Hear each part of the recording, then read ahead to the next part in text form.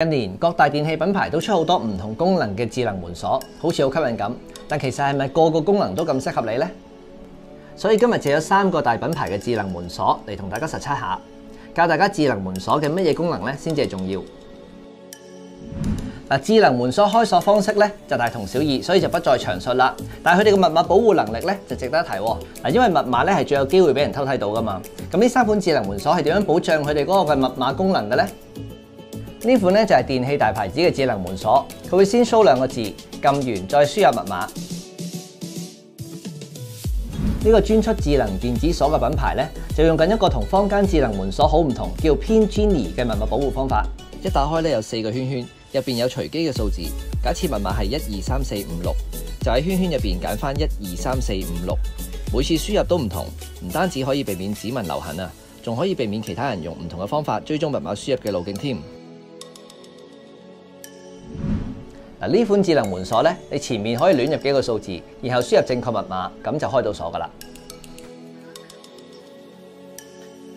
嗱，咁呢三款裏邊咧，我覺得用嘅動作最少、最方便同最專業咧，就係呢一款啦。佢輸入密碼嘅動作本身就係保護密碼嘅方法，非常聰明咁，一步可以做到兩樣嘢。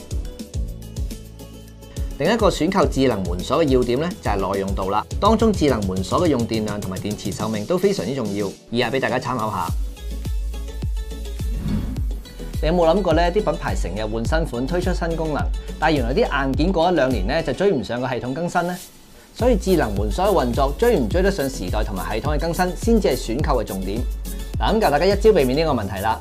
如果嗰間公司嘅內部係做埋個門鎖嘅硬件啦、App 啦、雲端系統啦，而唔係外判嘅，咁品牌各個型號嘅調整咧，變相就容易得多啦。咁你門鎖嘅壽命咧就得到保障啦。而呢一款咧，所有嘢都係自己研發同營運，想更新用 App 就得啦。講到智能門鎖 App 咧，一個好嘅門鎖 App 就唔使好複雜嘅，佢四個掣已經可以處理到好多功能噶啦。無論係一次性定係固定期限內嘅開鎖方式咧，都可以輕易咁樣加減用戶。講到開鎖方法，呢款門鎖最特別而其他牌子冇嘅開鎖方法咧，就係離線密碼啦。就算門鎖本身冇連接 WiFi 嘅情況下咧，都可以用到呢個即時 set 嘅離線密碼。智能鎖本身唔直接連接互聯網，就絕對唔會受到任何網絡攻擊啦。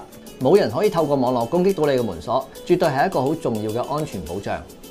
咁所以大家記住啦，揀智能門鎖咧，有以下兩點要注意嘅。第一就係佢究竟用咩技術去提升佢嗰個保安能力。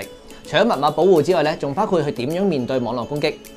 第二啦，究竟你嗰個門鎖能唔能夠跟得上個系統更新？呢個咧直接影響到你可以用佢用幾耐嘅。咁大家識揀啦。今日就講住咁多先。